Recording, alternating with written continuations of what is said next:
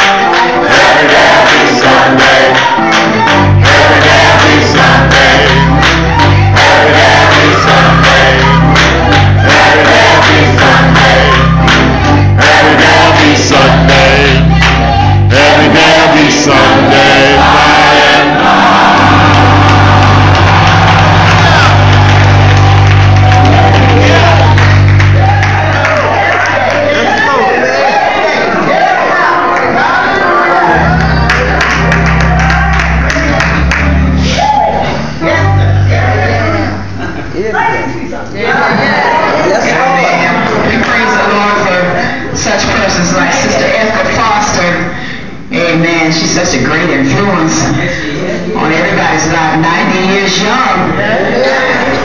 Amen. Praise God for you. To our illustrious president and uh, to chairman of the board, Lady Moles, and all the other officers of this great convention. I count it a blessing and a privilege to be able to just be here this week so many times. We make plans to go places and to attend a convention and attend a board meeting, not knowing what lies ahead. And sometimes we don't make it, and then we sit at home miserable because we didn't make it. So I just thank God for the opportunity just to be here on this week. Um, uh, my mind runs back to 1960, which was my first convention in Washington, D.C. Um, at 10 years old. Um, it was life changing for me. Um, never thought that I would be where I am today. And I'm not just talking about being one of the vice presidents of this convention, but just knowing all of you over the many years that, that the friends that we have made when we come here as children, we still know as we're getting older and getting seasoned in our age. So I thank God for all of the, the life's experiences with Dr. Dorsey and um, Sallie Martin. I was I was privileged to attend both of their funerals, and Mother Willie Mae Ford Smith, and the list just goes on. So um, bringing my children, my daughter and my son, as well as my grandchildren to this convention, having them to grow up in this convention has been life changing for them also. So once you come, it's true that you never want to miss and I'm going to my 53rd year of being a member of this convention.